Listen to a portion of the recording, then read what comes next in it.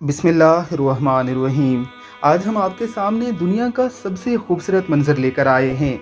यह हरम काबा में सुबह का मंज़र है। सुबह सादिक के वक्त भी लोग यहाँ पर तवाफ़ कर रहे हैं। आज़ान सुबह का वक्त हुआ।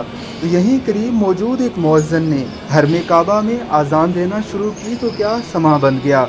ज़रा देखिए इस मुख्तसर सी वीडियो में।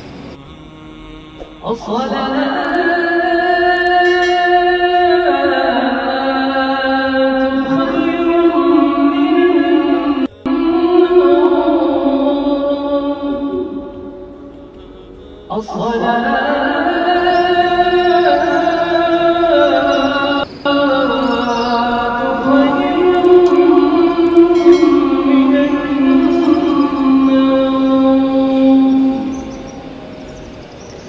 हैं कि हरम काबा और मस्जिद नबी की आज़ान इतनी मशहूर कन होती है कि इसे सुनने वाले बेख्तियार झूमने लगते हैं।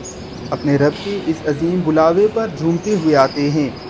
खाना खुदा में जब असलातो हैरम मिनन नोम कहा जाता है, यानी नमाज़ नींद से बेहतर है तो दूर दूर तक ये आवाज़ गूंजती हुई जाती है और हर सुनने वाला ही इस आवाज़ पर लब्बाई कहते हुए जाग उठता है और बेख्तियार खाना खुदा की तरफ़ खिंचा चला आता है।